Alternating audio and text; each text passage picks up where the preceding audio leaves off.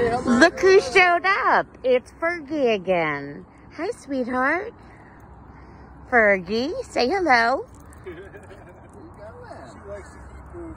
She's so, it's so good to see you guys again. It's been a long year. You healthy and I'm feeling healthier. healthier. May I give her a treat? absolutely.